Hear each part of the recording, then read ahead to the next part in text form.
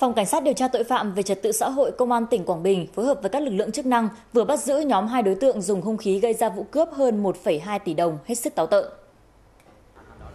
Vào ngày 6 tháng 10, sau gần một tháng lẩn trốn, đối tượng Mai Anh Đức sinh năm 1983, trú tại tỉnh Đồng Nai, là kẻ chủ mưu thực hiện vụ cướp đã bị lực lượng chức năng bắt và dẫn giải bằng đường hàng không từ Đồng Nai về công an Quảng Bình để tiếp tục công tác điều tra. Trước đó vào sáng ngày 9 tháng 9, Mai Anh Đức cùng với Ngũ Vĩnh Hoàng sinh năm 1983 đi xe máy để cướp tài sản. Khi đến đường Thống Nhất, phường Nam Lý, thành phố Đồng Hới, phát hiện chị Lê Thị Mỹ là thủ quỹ công ty trách nhiệm hữu hạn thương mại tổng hợp Tuấn Việt có trụ sở tại thành phố Đồng Hới, đi xe máy có mang theo túi sách, hai đối tượng đã ép xe chị Mỹ ngã vào lề đường. Đối tượng Mai Anh Đức dùng đấm dùng tay đấm và dí súng điện cướp chiếc túi sách bên trong có hơn 1,2 tỷ đồng rồi tẩu thoát. Sau khi thực hiện hành thành công vụ cướp, đối tượng Đức và Hoàng chia cho Từ Quốc Vũ 50 triệu đồng vì Vũ biết Đức và Hoàng là thủ phạm vụ cướp. Bước đầu đấu tranh, cơ quan điều tra đã thu giữ được số tăng vật là gần 1 tỷ đồng.